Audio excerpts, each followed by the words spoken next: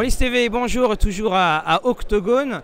Et nous sommes aujourd'hui avec euh, Damien de Black Book qui va nous parler eh bien, du programme assez chargé euh, qu'il y a, de tout ce qui est à venir à l'horizon, pour son jeu de mots, et euh, de tout évidemment ce qui est en cours d'arrivage et de traduction.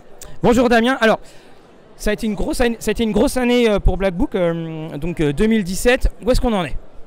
Alors euh, pour tout dire, c'était une grosse année 2016, qui avait énormément de sorties. Et puis c'est vrai que depuis euh, la fin de l'année 2016 et début de 2017, il y a eu énormément de précommandes participatives. Euh, et donc énormément de projets qui sont rajoutés. Et on arrive un petit peu à un moment charnière là où on a décidé de faire quelque chose qu'on ne faisait pas avant, c'est-à-dire de, bloquer un peu notre rythme de sortie, mais pour finaliser des projets euh, qui sont devenus un petit peu, euh, un peu des boulets quoi, en termes en tout cas de, travail et de production, c'est-à-dire euh, Pavillon Noir, la fin de, des suppléments Polaris. Il y a des projets qui ne sont pas en retard de manière calamiteuse mais qui sont très attendus comme Héros et Dragon aussi, il ne faut pas trop qu'on tarde.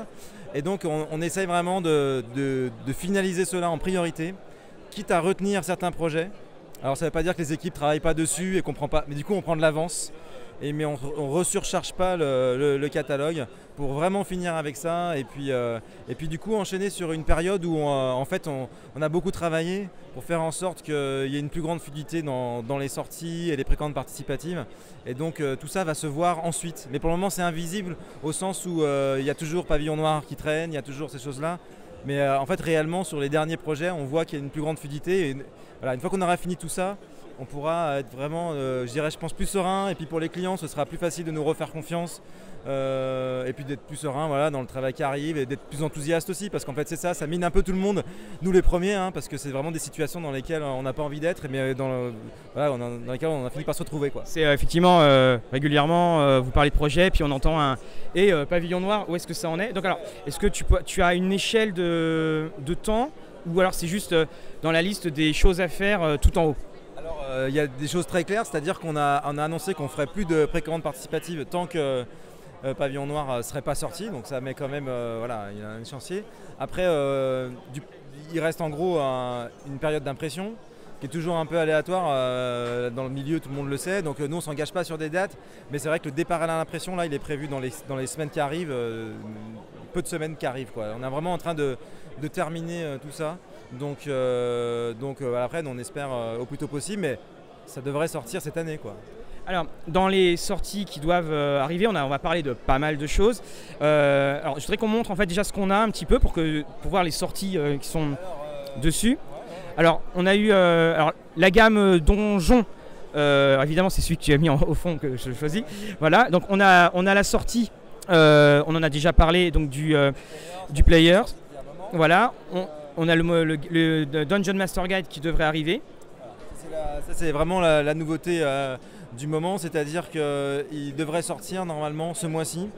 Euh, donc ça c'est quelque chose qu'on a besoin de réexpliquer souvent parce qu'en fait Donjon et Dragon c'est vraiment un jeu particulier avec un éditeur qui, a, un éditeur mondial, Hasbro, euh, qui est une grande entreprise. Donc les, les habitudes ne sont pas les mêmes que dans le jeu de rôle habituel. Et nous, nous ne sommes que traducteurs et que distributeur. Et donc toute la période par exemple de production, tout ça, on n'a aucune information. Alors c'est vachement dur pour nous de faire patienter les gens parce que nous-mêmes on a fait notre travail dans les temps, euh, on a livré euh, tous nos fichiers dans les temps et on, on attend au même titre que les, que les, clients un peu en fait, sans toujours savoir. Donc c'est pas très facile cette situation-là. Parce qu'il y, a eu ça, enfin il n'y a pas qu'en France d'ailleurs, parce qu'il y a eu l'énorme retard euh, de, l'histoire de toutes les cartes de donjons qui avaient été bloquées en douane. J'ai 1 500 000 cartes, un truc comme ça, donc ça a arrêté quasiment toute la production et distribution mondiale de donjons. Et effectivement, c'est quelque chose, on le dit souvent à Rollis TV, pour donjons, c'est qu'il y a les gens d'en haut, comme on dit, qui doivent décider et ça doit descendre le temps que ça se fasse. Et une fois qu'on a euh, le DMG, qu'est-ce qui va sortir euh, juste après? Alors, le DMG, ce qu'il y a de bien, c'est que là, on commence à avoir des infos fiables sur le fait que ça va sortir ce mois-ci, donc ce serait quand même étonnant que ça ne soit pas le cas. Par contre, pour euh, la suite, c'est une, deuxième vague de produits dans lequel il y aura l'écran, donc la version réincarnée, on va dire, avec la nouvelle, voilà, avec une nouvelle Estron qui est, qui, est, plus jolie, que je trouve plus jolie moi aussi. Il y a le kit d'initiation, donc qui est très attendu, que tout le monde nous demande et qui sera très peu cher, donc ça c'est vraiment, ça va faire un produit très accessible. Et puis il y aura également également les fameuses cartes de sort, justement, qui sont hyper utiles en jeu et qui sont vachement appréciées par la communauté en tout cas américaine. Tout à fait. C'est moi j'ai joué un petit peu avec. C'est vraiment super parce qu'on peut vraiment matérialiser ce qu'on a sur soi et c'est un, gros avantage. Et le oui. Petite précision, c'est que tout ça est fait en même temps. Et là, donc, on est dépendant, pareil, euh, de, des informations qu'on a. Et en fait, euh, voilà, on n'a qu'une information à ce jour à, communiquer. Quoi. On va croiser les doigts. Alors, on a également, euh, toujours dans du médial fantastique, l'arrivée de Chroniques oubliées, la boîte d'initiation, donc qui est ici, donc dont on va parler. Enfin, quand la vidéo sera diffusée, je pense que Rollis TV aura déjà diffusé la boîte et l'intérieur. D'accord, bah là voilà, du coup je vous la montre, je sais pas quelle caméra euh, ça vous intéresse, voilà, plutôt celle-ci. Et donc euh, bah, on pensait pas la voir sur Octogone justement, elle est arrivée euh, jeudi matin, c'était plutôt une bonne surprise. là c'est la version dite classique, donc celle qui va être, pardon, qui va être disponible donc, dans toutes les boutiques, mais il y a une version limité qui est une version de Thierry Ségur avec une couverture alternative d'ailleurs euh, dans l'autre sens euh, avec une illustration de Thierry Ségur. Et celle-là elle est réservée donc aux précommandes participatives euh, qui avaient eu lieu l'année dernière. Et donc eux vont le recevoir là dans, les, dans les jours et deux semaines à venir le temps de préparer tous les envois. Alors on a, on a ça, on a aussi Shadowrun qui fait un retour, alors pas forcément en format jeu de rôle, mais euh, justement dans une nouvelle déclinaison qui est la déclinaison euh, jeu de cartes euh, à le jeu de cartes évolutif, hein, les, decks à faire. Très exact, la version jeu de cartes elle est déjà sortie du coup il y a quelques mois, la Crossfire dont tu parles, qui est en démonstration ici, qui, qui, marche très bien. Mais la boîte que je t'ai amenée aujourd'hui c'est une exclusivité parce que c'est la première boîte qu'on a reçue de validation. J'avais pas regardé. La boîte d'initiation pour le jeu de rôle en fait. Donc, euh, donc voilà, ça y est là. Donc là, on, en est à l'assemblage. Donc c'est pareil, ça c'est un, au même titre un peu que Chroniques oubliées. C'est une mode d'initiation euh, qui est attendue depuis un moment. Euh, les, gens, les gens attendent, elle est en retard. Ça y est, elle arrive enfin. Donc pour Noël, Chroniques oubliées pour de la fantasy, Shadowrun pour du cyberpunk un peu mélangé. Voilà, exactement. Ouais, ouais, ouais. Ouais, ouais, dans, en ville, c'est un, un, peu dangereux en ville. Euh, mais enfin, un truc euh, beaucoup plus accessible pour se mettre à Shadowrun, euh, guider, c'est vraiment. Et c'est une boîte pleine à craquer, hein. il n'y a, pas de vide dedans. Alors en ce qui est donc, on a eu cette grosse vague de, de financement. Alors on a l'élite qui est attendue, on a interviewé Guillaume Tavernier. Alors c'était annoncé au mois de décembre. Qu'en est-il vraiment? Alors c'était annoncé euh, au mois de décembre, donc euh, évidemment ça c'est les annonces euh, avant que la précommande participative marche. mais cela dit, on est vachement dans les temps en fait. C'est-à-dire que là en ce moment, quasiment tout est écrit. Je pense qu'ils sont encore un peu sur des relectures sur la campagne offerte. Euh, mais sinon, tout le reste a été écrit, donc c'est des enfin c'est, euh, je crois que c'est un millier de pages, euh, quelque chose comme ça. Et là, j'en profite pour faire coucou à Didier Guizérix, on parle de la élite. donc, et donc tout est fini. on entre vraiment dans la phase de maquette. Donc les PDF vont débouler. Donc bien sûr que l'impression ne sera pas terminée pour, pour la fin de l'année, elle sera terminée pour le début de l'année d'après. Donc on aura réussi, à, à mon sens, à tenir un, un, bon délai sur un projet si massif. Oui, parce que quand on voit quand même ce qu'on va recevoir, c'est il va y avoir du bazar dans la boîte aux lettres. Hein. C'est énorme, le, colis va être costaud. Hein. Je réfléchis que je dise pas de bêtises, mais à, mon, avis, ce sera le plus gros projet euh, en termes euh, d'objets reçus que, Black Book aura fait. Bon, à vérifier, mais il y, a de fortes chances. On a reçu le, le visuel de l'écran qu'on a diffusé et qui a, voilà, qui a cartonné partout. On, l'a diffusé également, ça a fait vraiment une, réception très très très positive pour, euh, euh, tout cela. Ça, donne vraiment envie de se mettre dedans et même des personnes qui n'avaient pas pledgé se disent Ah, mais euh, qu'est-ce donc Vraiment, c'est une réussite parfaite que, que, cet écran. Alors, on a aussi eu, donc on avait eu la Elite. On avait eu Lamentation de Flame Princess, on a des projets Starfinder. Donc, alors, on va faire tout ça un petit peu dans l'ordre. Ce qui a déjà eu lieu, donc là, tu parlais de la, donc de la on a fait le point. Euh, il y en a eu un certain nombre euh, d'autres. Alors, dans, les plus anciennes, mais qui arrivent à terme, peut-être ça va intéresser les gens. C'est donc ce qui allait avec Chroniques oubliées, c'était aussi le compagnon avec la boîte d'initiation. Et euh, tout ça, tout ça est, est part à l'impression aussi. Donc ça va, être, ça va pouvoir être livré là, on est vraiment dans les semaines qui arrivent. Il y a des choses qui sont parties à l'impression déjà, qui avaient été annoncées, donc avant qu'on bloque tout pour Pavillon Noir, euh, le Reine de l'hiver, la campagne Pathfinder, donc ça c'est pareil, là vraiment ça va sortir incessamment sous peu. Euh, qu'est-ce qu'il y a d'autre euh, Je vais... Et après donc il y a des projets qui sont encore pas sortis, qui sont en cours, les PDF arrivent, les gens ont, quand même obtenu des choses. Donc il y a Lamentation of the Flame Princess, donc les règles ont été livrées, le premier scénario. Donc là, il y a à peu près 6 ou 7 suppléments qui sont débloqués.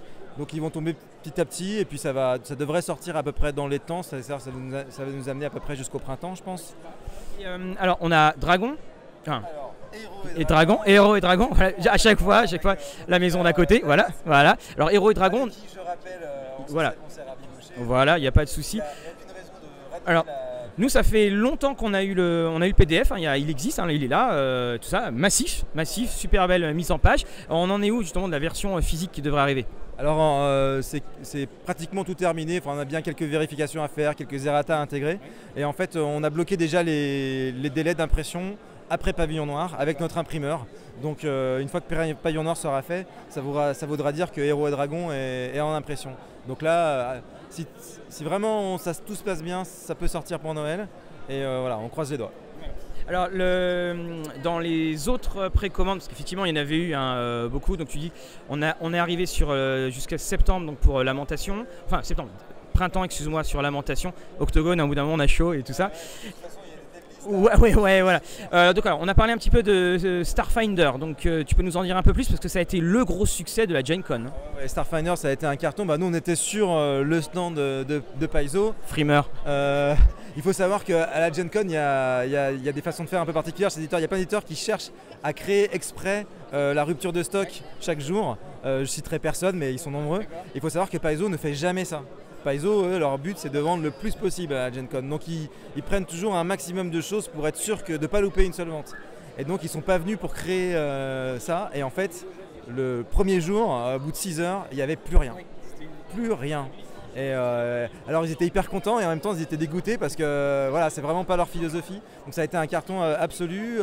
on s'aperçoit même que le concept qui pourrait paraître un petit peu un peu forcé au départ de Pathfinder dans les étoiles, eh ben, finalement il séduit même jusqu'en France. Il y a une grosse communauté de joueurs qui travaillent par exemple chez euh, Asmodee. Hein, et ben, euh, on sait qu'ils se sont mis à Starfinder, qu'ils adorent, qu'il y a même des mecs qui sont remis au jeu de rôle avec Starfinder. Donc on, constate un peu le même effet qu'avec Pathfinder, c'est-à-dire euh, peut-être que c'est cette histoire de, campagne prête à jouer aussi qui attire les gens. Et les gens ils s'y mettent plus facilement parce qu'ils savent qu'ils auront moins de boulot pour bosser les scénars et que les scénars seront bien quand même. Quoi. C'est vrai que Pathfinder a ce côté un peu effrayant dans, dans, le volume. D'ailleurs, dans Rollis TV, on va faire un point sur Pathfinder, quels sont les, suppléments indispensables pour jouer et s'y mettre tout de suite? Ça me rappelle aussi. Euh, euh, Donjons et Dragons avait connu cette mouture fantastique, c'est Space Jammer qui m'empêche de le dire, je crois que c'était Space Jammer. Ouais, c'est ça c'était un peu plus original que ça, parce que c'était vraiment une histoire aussi de navire. Mais oui, ça, s'en rapproche. Euh, mais Spelljammer n'avait pas forcément une très bonne presse. Quoi, donc, euh, ça, c'est clair. L'affiliation soit trop forte. Et alors, donc, euh, on s'est aussi posé beaucoup de questions quand il y a eu l'espèce de grand, grand déstockage de produits Pathfinder. Alors, qu'en est-il vraiment de, la gamme, de l'avenir de la gamme avec Black Book? Alors bah, la gamme Pathfinder, on voit bien maintenant hein, que c'est une gamme qui a, de l'âge. Hein, on va pas tarder à approcher les 10 ans. Et, euh, euh, comme toutes les gammes, il y a une forme d'essoufflement hein, pour tout le monde, c'est un petit peu normal, euh, les ventes chutent un peu. Mais grâce au crowdfunding, on peut continuer à sortir les bouquins, surtout les campagnes, parce que les gens les gens ne décrochent pas sur les campagnes. Hein. Malgré les précommandes participatives, elles marchent toujours bien. Donc on va intégrer maintenant les, suppléments de règles aussi dans, ces crowdfunding-là. On, on, attend que le Reine de l'hiver sorte, pouvoir relancer tout ça, parce qu'il y a des gros projets en attente. Mais donc on continue de cette manière-là. Et euh, le principe euh, de, comment, des, promos qu'on a fait là cet été, c'est qu'en fait euh, sur, certains, sur certains titres, il restait pas mal de stock et puis c'était l'occasion de, bah, faire plaisir un peu aux gens, puis ça sert à rien de surstocker sans arrêt. On est en fin de vie, si les gens les veulent. ce, qui est, ce qui est intéressant, c'est qu'il y a encore beaucoup de gens qui les veulent. Donc euh, voilà, ça a permis de faire plaisir à tout le monde et puis euh, nous de faire des belles soldes. Tout le monde est, tout le monde est content, ça nuit pas à la gamme. Euh, tu dis tout le monde plein de produits qui sont disponibles, voilà. Tu dis tout le monde, Guillaume a dû porter le colis de 32 kilos et quand il m'a appelé, il m'a fait Mathieu, on a un gros souci. Donc eh bien ah, ah, oui, ah, c'était oui, très bon. Donc ben, merci pour tout Damien. Euh, bah encore une fois, plein d'infos. Ah ouais, attends, bah alors vas-y, vas-y, dis-moi. Dragon Age. Ah oui, oh là là, oui, ça, oui, bien sûr, on coupera ça. Il y en a d'autres, mais bon, en fait, fait, les gens peuvent se renseigner sur le site. Il y a des PDF qui tombent régulièrement. Je pense que c'est ce que je disais tout à l'heure. Il y, a une meilleure fluidité malgré tout, même s'il y a aussi un peu des retards. Je pense aussi un peu à l'œil noir qui a mis un peu de temps à se débloquer. Mais là, ça y est, il y a pas mal de trucs qui sont tombés.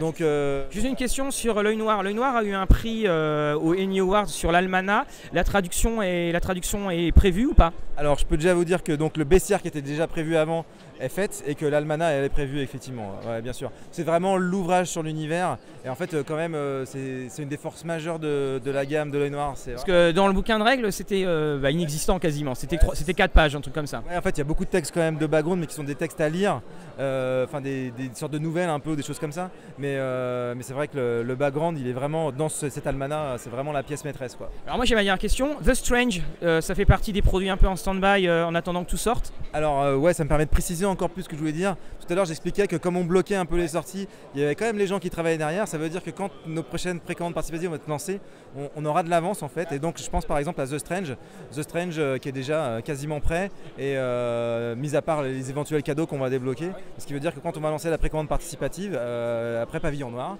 et eh ben voilà, ce sera vraiment, les gens pourront avoir confiance que ça sortira vite. Et alors Numenera 2, parce que ça a été annoncé, ça sera, aussi prévu dans le long terme euh Numenera 2, c'est un petit peu particulier dans le sens où euh, c'est pas vraiment une deuxième édition. Hein.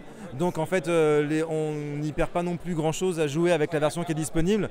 Évidemment, quand notre version sera plus disponible, on y passera, mais il n'y a, a, aucune urgence. Nous, ce qui compte, c'est les suppléments. Il y en a déjà trois qui sont prêts. C'est pareil, tout ça est retenu par, par Pavillon Noir, mais en fait, on a trois suppléments qui sont prêts à arriver. Quoi. Bon ben là, voilà, je t'en remercie pour tout euh, Damien euh, encore une fois. Et puis donc, euh, ben, on attend ça avec impatience parce que... Ah, ok, ben, le bonus, le, bonus. Le bonus Casus parce que Casus 23 part à l'impression ce lundi. Donc en fait, quand la vidéo sortira, sans doute que le Casus 23 arrivera dans les bacs. Voilà. Bon ben, voilà, tout est pour le mieux dans le meilleur du monde et chaque chose à sa place, comme on dit. Et ben, donc on te souhaite la, plus, belle, la plus belle des réussites pour cette année et que évidemment ben, tout ce qu'on attendait arrive. Et puis là, ça a l'air vraiment de, de bien se débloquer. Encore une fois, merci Damien. Ouais, merci à tous.